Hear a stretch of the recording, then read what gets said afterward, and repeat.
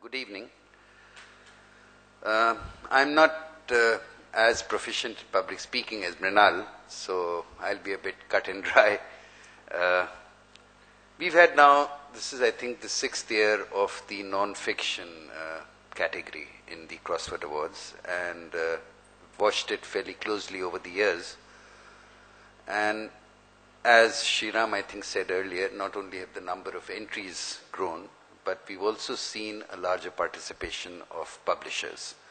I mean, you know, much as what Lilith said, uh, in the early years, you know, you had a huge dominance of books by Penguin uh, or HarperCollins, I mean, the, the publishing majors. And we have seen over a period of time that other publishing houses and, and other publishers have also come into the thing.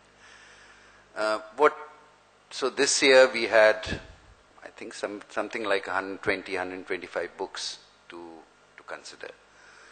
And unfortunately, since nonfiction is a rather omnibus category, I mean, this, this ranges from all kinds of trade books to even coffee table books to somewhat serious academic tomes to more self-help books, etc., etc., etc.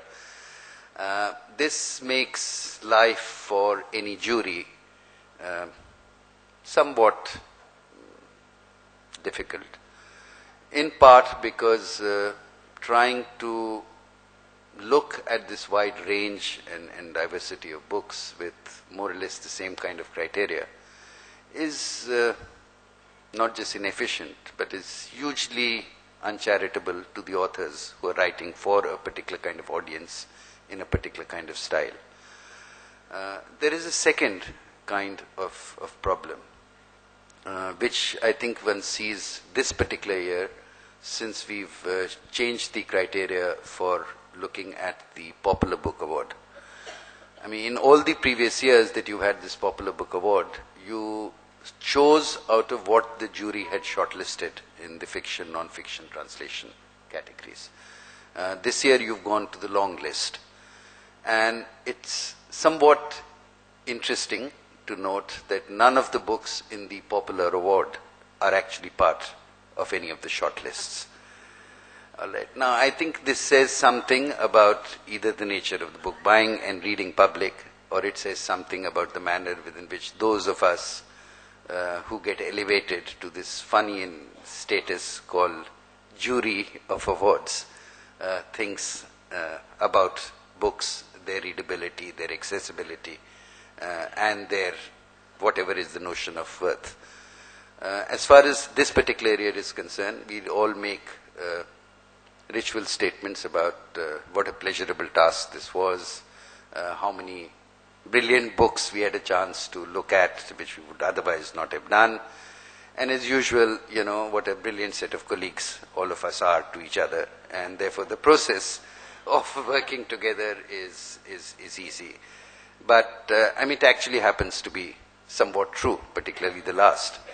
Uh, I mean, it's not only because, uh, at least I can speak for myself, that I've known both Alok and Rajni for a long enough period of time. And therefore, it's easy to talk, discuss, disagree, uh, even violently disagree, uh, without any fear.